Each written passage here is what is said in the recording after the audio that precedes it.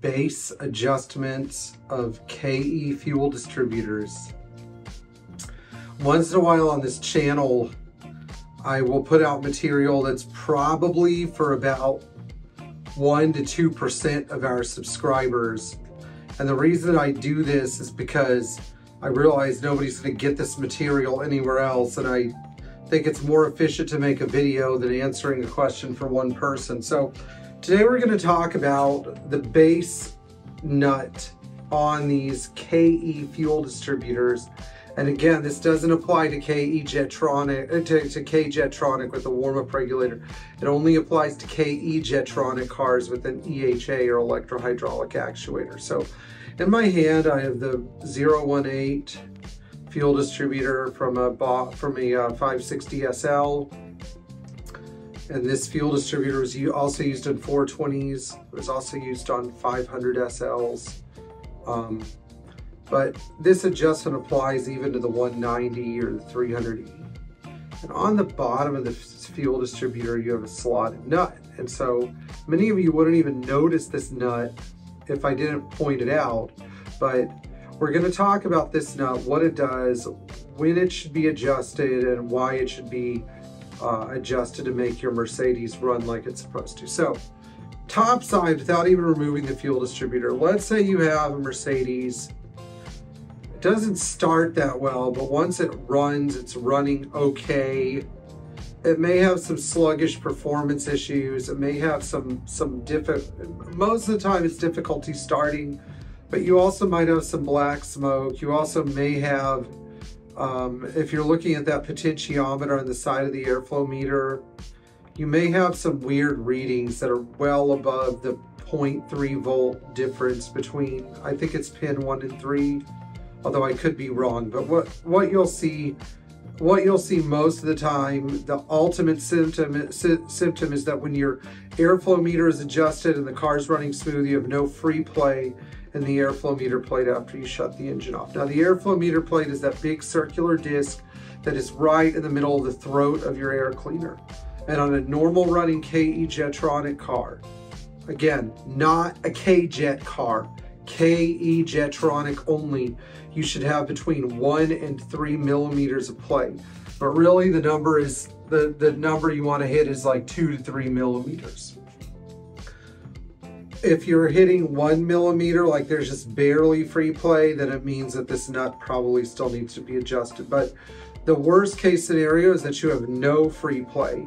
And that's what I'm most concerned about here cars that have no free play at all because what that means is you will have to crank extra hard to get your fuel distributor to start delivering fuel.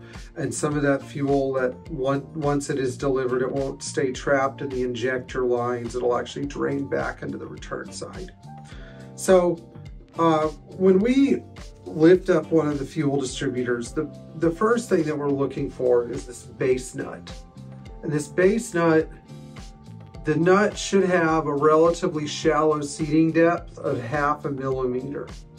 If it's one millimeter, it's really too much. It's very hard to see, but if it's even with the top, I'm not talking about almost even, because half a millimeter is pretty much the number. It's, it's, it should not be even with and it should not be sitting at one millimeter of depth. It should be at half a millimeter. And if you have a V8 car, you see this ledge right here. We typically set the up-down portion of the slotted nut with the ledge. So this, this line and these lines should be at 90 degrees from each other. Now, how do you know if you're 180 degrees out? Well, a couple of things will happen. First of all, you'll either be too shallow or too deep. Um, I I personally think that the best measurement, the best way to measure measure this is maybe with a dial gauge, although for some people that's not an option. So you may want to get a flat straight edge and cut a little tiny piece of half millimeter thick feeler gauge, which you can get anywhere, and just check it. And again, you want to be around half a millimeter. Now, once you turn this in, you're going to increase the moment of delivery. In other words, when this thing just barely, this pin just barely starts to move, you'll get fuel delivery. And once you shut the engine off and the plate is at rest, you're gonna have some free play in the airflow meter. And you should have no fuel delivery here, so you don't have any unmetered fuel going to your injectors, which is what you don't want.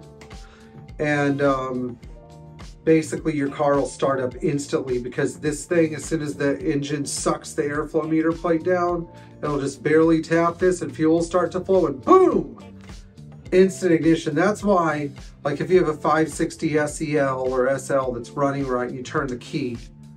The key to the engine shouldn't turn for more than, you know, a couple seconds. And they say four seconds, but four seconds is kind of a long time. The engine shouldn't crank for more than a second or two, and then it instantly jumps up to 1500, 1700 RPM per second and then calms down. That's how you know that your moment of delivery is good. It doesn't struggle to run, it doesn't go.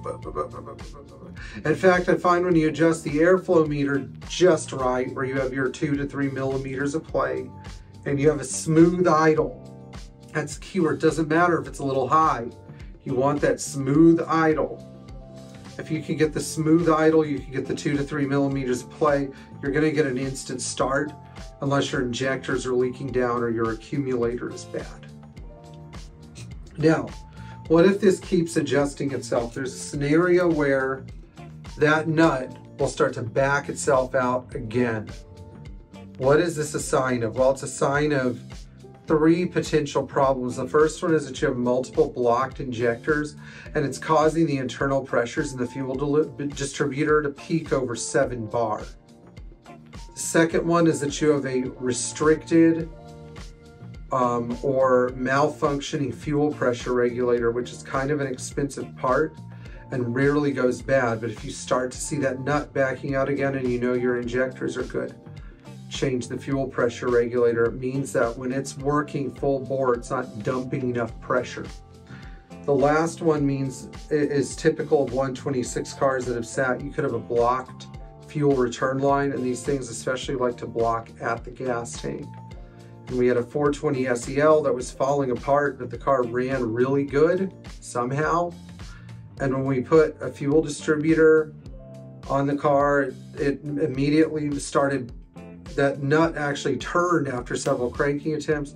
We ended up having to drill through some crud in the tank at the return orifice. I couldn't believe it. So I guess what I'm saying here is that there shouldn't, that thing shouldn't just move for no reason. If it does start to move, you need to diagnose the underlying cause, but there is a way to adjust it and fix it. Now, on a side note, if you rebuilt your own fuel distributor and you're getting black smoke, car's running good, but you're getting a little black smoke or rich exhaust emission when you're idling, you may have turned that nut in too far. And that's another caveat. So try to make sure when you rebuild your fuel distributors, you set the position of that nut. Um, the positioning I gave, by the way, only applies to V8 cars because that's that seems to be the majority um, KE Jetronic car that's on the road 560 SEL, SL, 420 SEL, etc. But if you're if you're going through your fuel distributor on a 190E or a 300E and you have a four or six plunger fuel distributor, try to set it up the same way that that it came apart.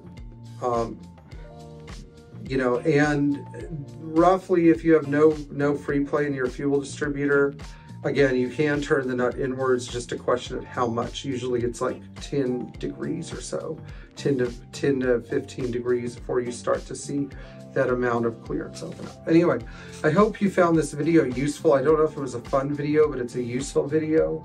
Enjoy trying to work on your Mercedes because a lot of people don't try and if you keep trying, you will eventually become successful. So I salute you. So please like, share, subscribe, tap the bell for notifications and enjoy working on your classic Mercedes.